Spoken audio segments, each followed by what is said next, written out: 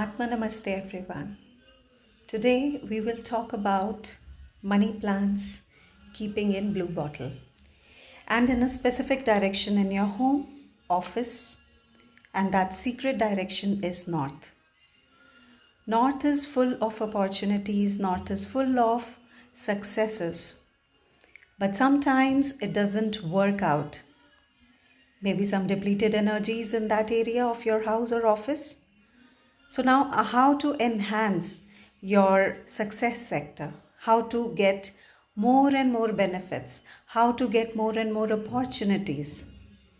By simply keeping blue bottle with green money plant in it will bring abundance. Ask me how.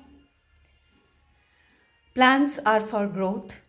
Plants colors are of green. Green color is also for growth and we've put when we put our plants in blue bottle blue enhances green color. It waters it.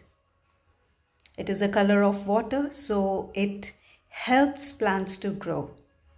Similarly when we put green plants in blue bottles it helps plants to grow.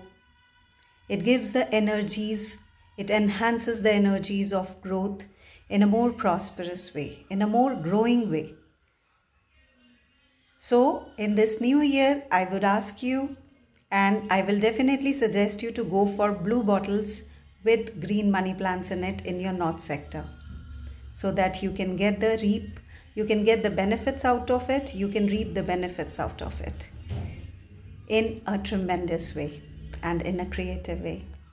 No one would get to know because it is a secretive technique which you can easily keep anywhere but more specifically in North area.